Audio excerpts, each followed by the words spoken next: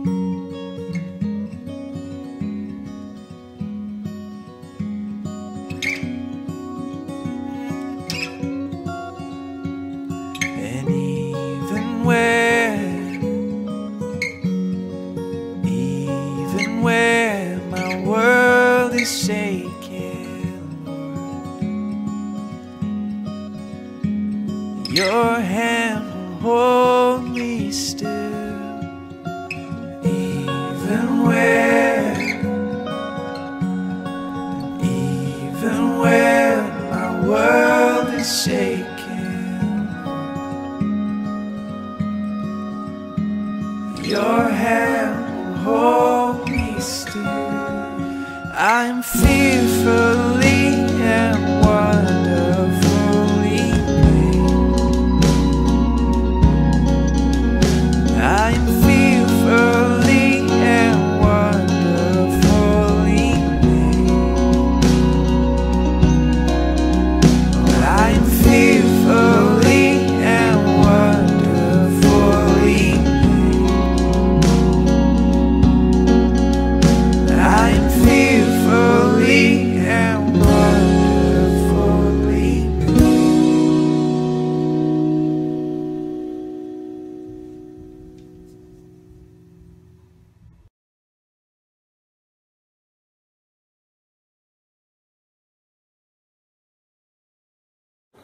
Good day, everyone. I'd like to welcome you to the Emmanuel's Good Friday service. Though it's a somber remembrance of Christ's sacrifice, the death of Jesus Christ for the sin of this world, I'm excited that you have gathered as the church. I'm especially excited that we are joined today with folks from Timberlea Baptist Church, Timberlea, Nova Scotia, and Lighthouse Christian Fellowship from Birchtown, Nova Scotia. It's wonderful to be the church together.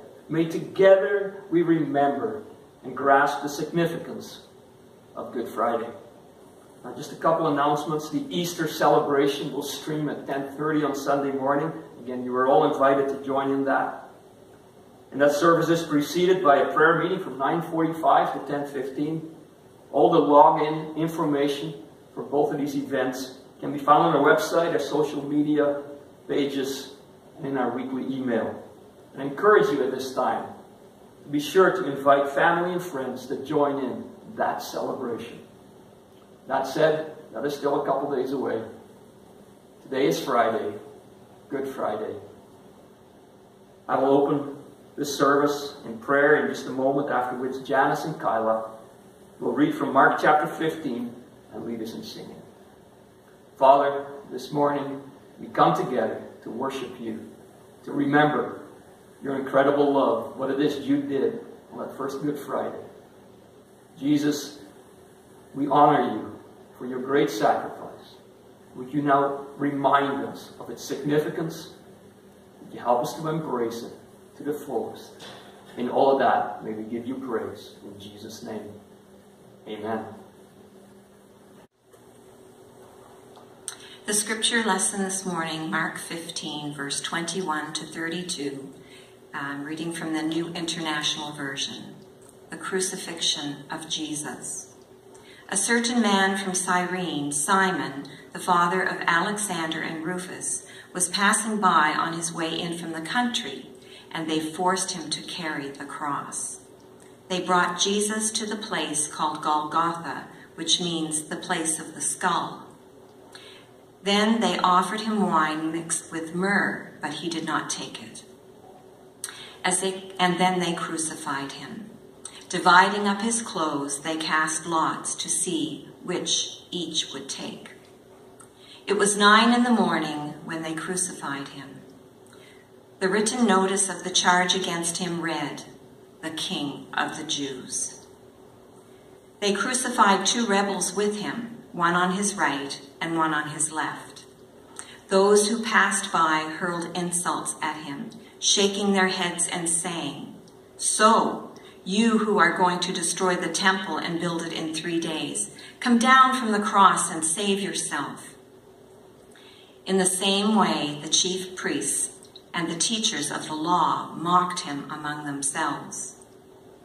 Let this Messiah, this King of Israel, come down now from the cross, that we may see and believe.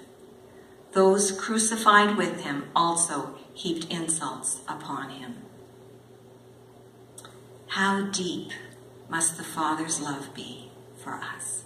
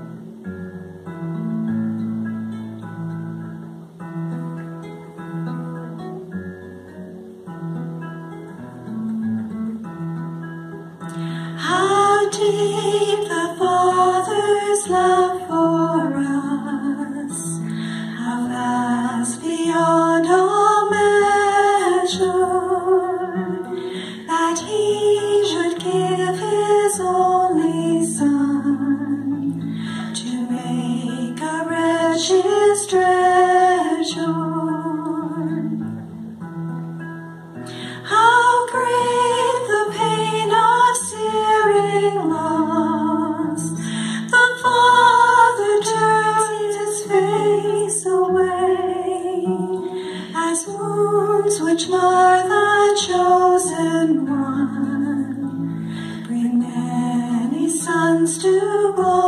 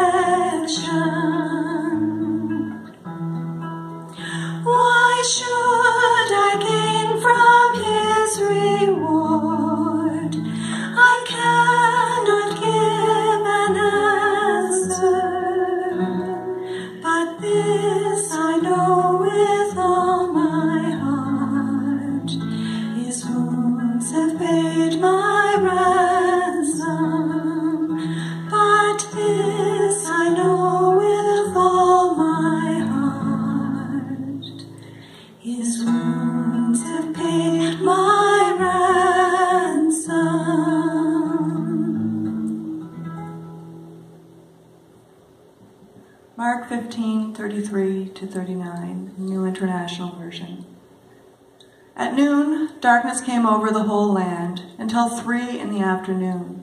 And at three in the afternoon, Jesus cried out in a loud voice, My God, my God, why have you forsaken me? When some of those standing near heard this, they said, Listen, he's calling Elijah. Someone ran, filled a sponge, and filled it with wine vinegar, put it on a staff, and offered it to Jesus to drink. Now leave him alone. Let's see if Elijah comes to take him down, he said. With a loud cry, Jesus breathed his last. The curtain of the temple was torn in two from the top to bottom. And when the sentry who stood there in front of Jesus saw how he died, he said, Surely this man was the Son of God.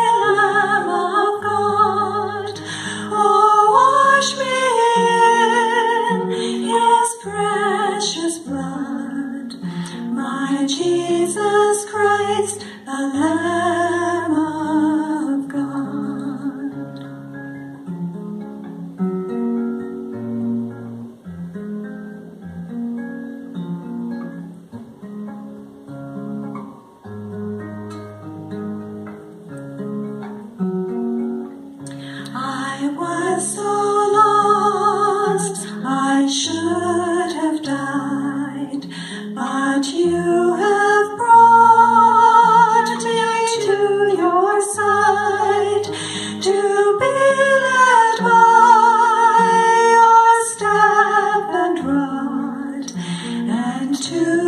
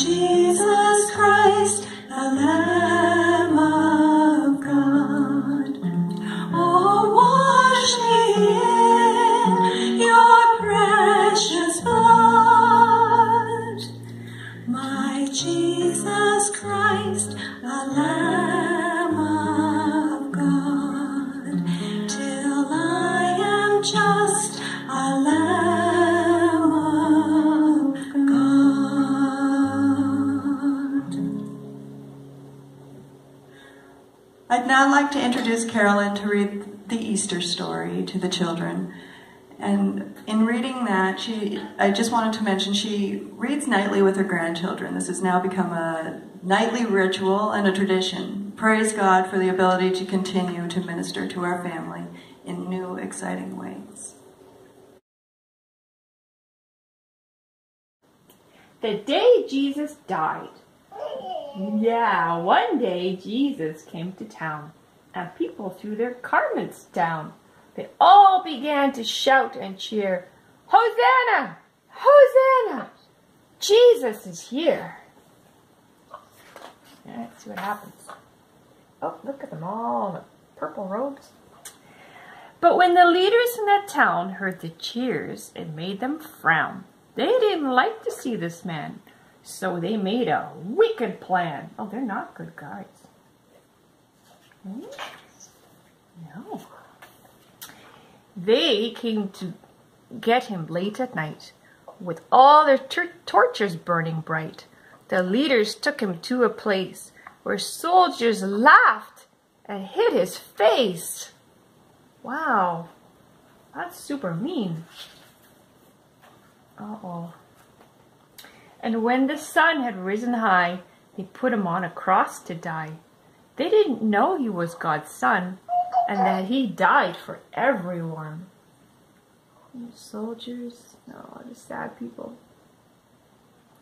See that?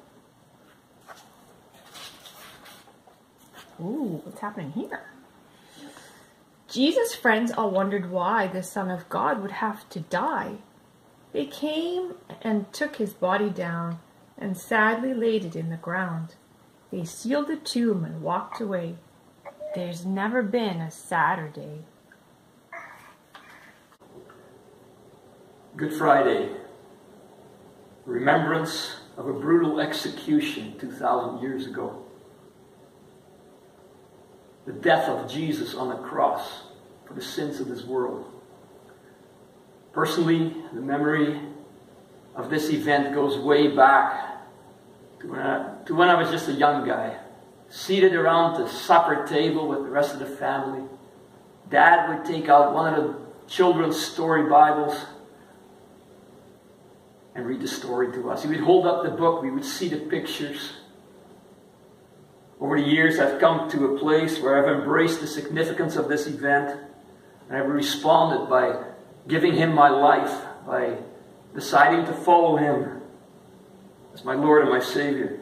And yet, I must admit that even though I have grasped the significance of the events of Good Friday, I tend to take it all for granted. So there you have it. I've embraced Good Friday, yet tend to take it for granted. And I know I'm not alone. At the same time, I can well imagine many people who would just be confused about Good Friday, about its significance. I mean, really, why would Christians around the world continue to pause and reflect on that brutal execution 2,000 years ago? And what could that ugly death have to do with today?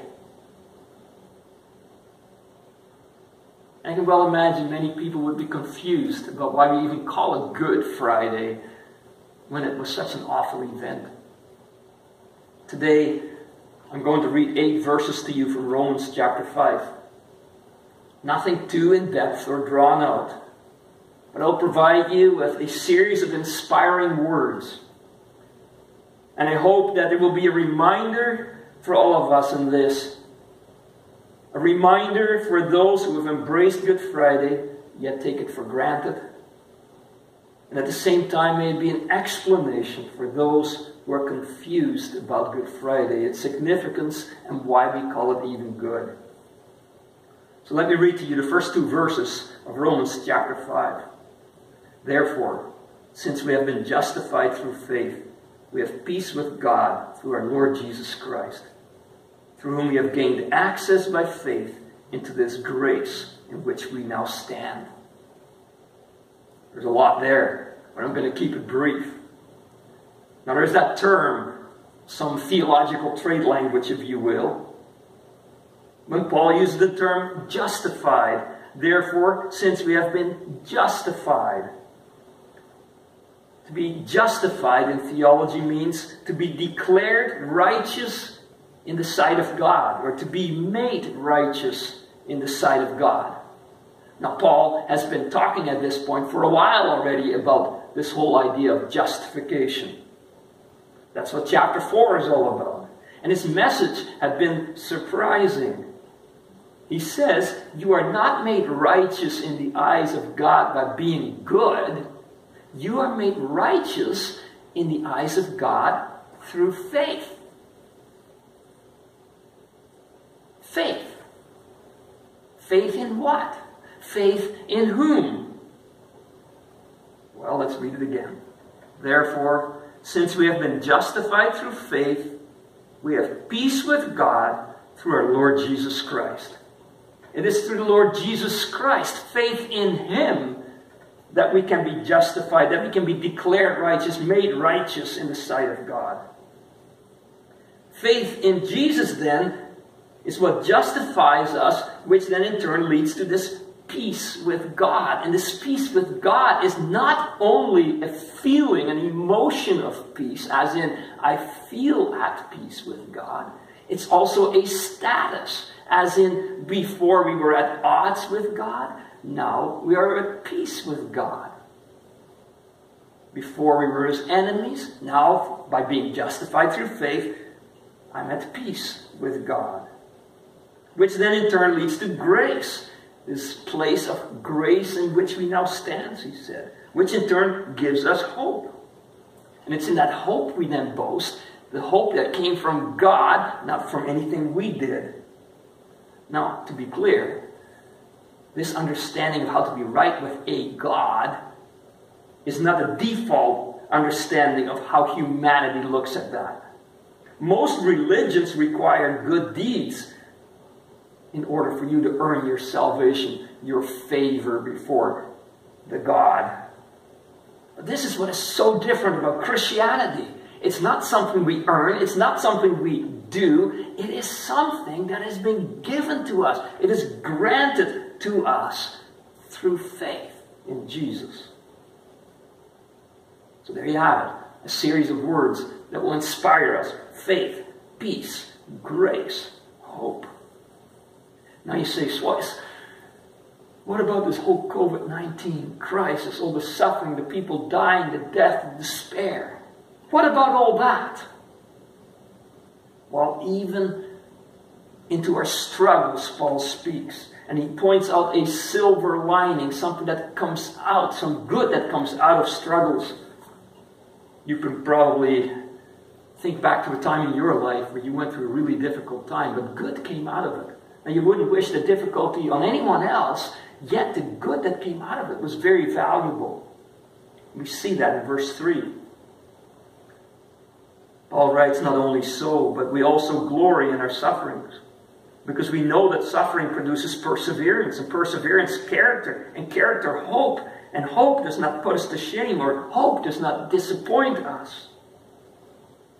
Because God's love has been poured out into our hearts through the Holy Spirit who has been given us. Hope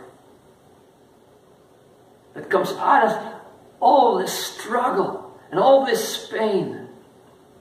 Hope that is far more than just being optimistic. It's not just an unfounded optimism, no, it's the blessed assurance. It's the deep confidence that all is well with our souls which leads to an incredible peace regardless of our circumstances. How? Well, it's not our own doing. It's a gift from above. It is through the Holy Spirit who lives in us, who has been given to us, that we experience peace. I was in an online coffee break this past week. And as those who were in attendance were sharing the good that had come out of this struggle for them already, somebody said, you know, in the midst of all the concerns we have, we're just experiencing this incredible peace. This is the peace we're talking about. Not a peace that is dependent on our circumstances, but a peace that isn't even rational. It's a peace that has been given to us through the Holy Spirit. It's a peace that is not our own doing. It is a gift from above because God's love has been poured out into our hearts. Now, do we deserve that love? Come on, be honest. Do you, in your own strength, in your own behavior, deserve God's love? Now, be sure to reflect on that, that you compare to God and not to someone else, another broken person. You compare yourself to God's holy standards and you soon find out, no, compared to Him, I fall short. I do not deserve His love. We know we're not worthy, and yet we read that He loves us. He doesn't always love what we're doing. He doesn't always love what we're thinking or scheming. But He loves us as a person He has created to be in fellowship with Him. He loves you, and He proved it. You see, at just the right time, when we were still powerless, Christ died for the ungodly. Very rarely will anyone die for a righteous person, though for a good person, someone might possibly dare to die. But God demonstrates His love for us in this while we were still sinners, Christ died for us. He demonstrates his love for you in this. That while you were still a sinner, that while you were still far away from him, while you were still doing your own thing, Christ died for you. His death was ugly, it was undeserved. It should have been you. It should have been me. Yet his death made it possible for us to be justified, to be made righteous in His sight, to be forgiven, to be free. That is what is so good about Good Friday. We're going to watch a very short video. It's a skit that just portrays the freedom He bought for us. God so loved the world that he gave his only begotten Son, that whosoever believeth in him should not perish, but have everlasting life.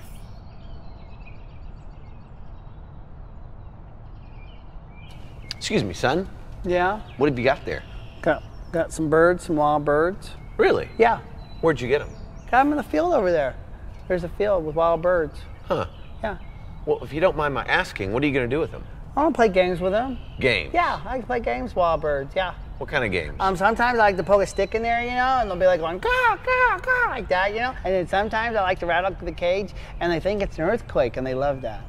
what happens to them after you're done playing games with them? Mm, usually I feed them my cat. Yeah, my cat likes wild birds. I tell you what, I am fond of wild birds. You are? Yeah, let me buy them from you. You want to buy my wild birds? Yeah. They're no good for nothing. They can't do no tricks or nothing. And when you open this gate, they're just gonna fly away. How much? You're serious? I'm very serious. Five dollars. All right. Ten dollars. Okay. Twenty dollars. Th- they're wild birds. They're exotic birds. you found them in a field. An exotic field. All right. That's all I got.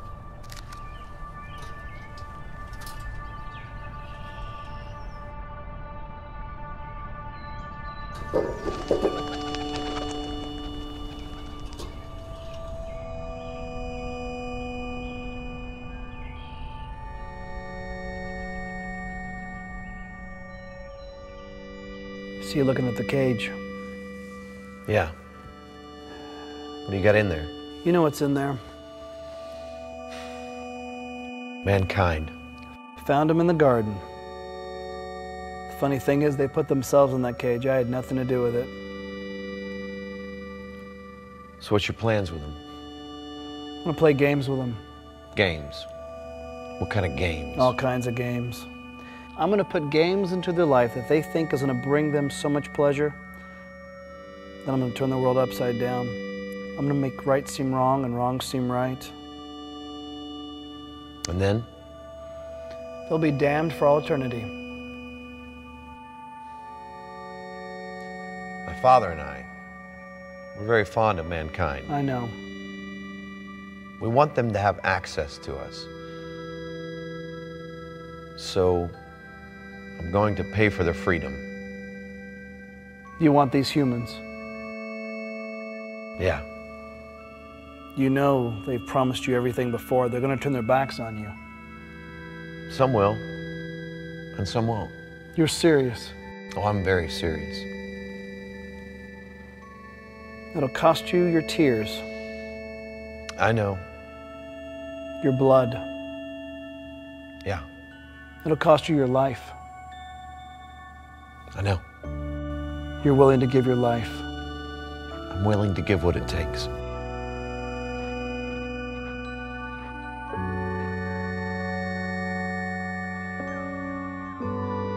This reminds us about what Jesus did for us on the cross. He picked up that wooden cross and carried it to Mount Calvary because he loved you and me.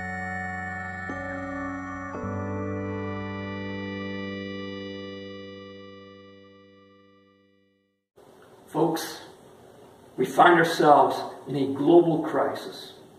And it doesn't matter who you are or where you are. It doesn't matter whether you're a Christian who has already embraced the significance of Good Friday, but tends to take it for granted, or whether you're curious, just confused about the significance of Good Friday, but looking for truth and hope and meaning in all of this. It doesn't matter who you are, we all could stand some peace some grace, some hope, some divine love. Faith in Jesus is the path to all that. Friday, Good Friday shows that his love for you is real. If you're watching this on the stream, there are some ways for you to respond. If you find yourself a Christian continuing to struggle with taking it for granted and wanting to ask for some prayer, there's a way to do that. If you recognize you need revival in your walk with Jesus, ask us to pray for you. If you are in need of greater peace, ask us to pray for you. If you're curious, but you're starting to sense that it's time for you to commit your life to Christ, to accept that gift of salvation, there's a way for you to indicate that as well.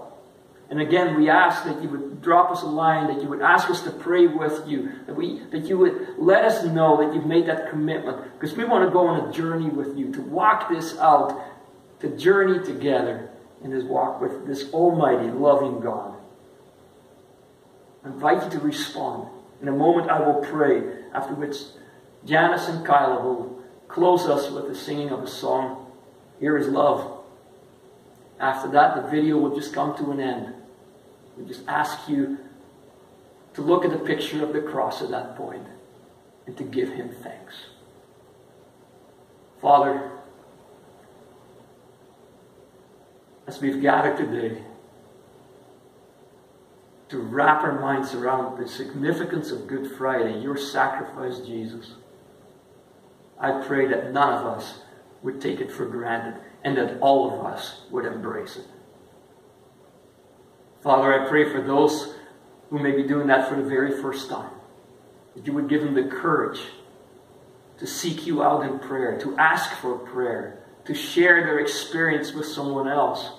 Father, I pray that they would meet you in this uncertain time and find you to be their Savior and Lord. For those of us who tend to take you for granted, Lord, forgive us. God, speak to us with the power of your Holy Spirit. Convict us of what needs to change. But on this day, above all else, Lord, would you help us to grasp your love, your goodness.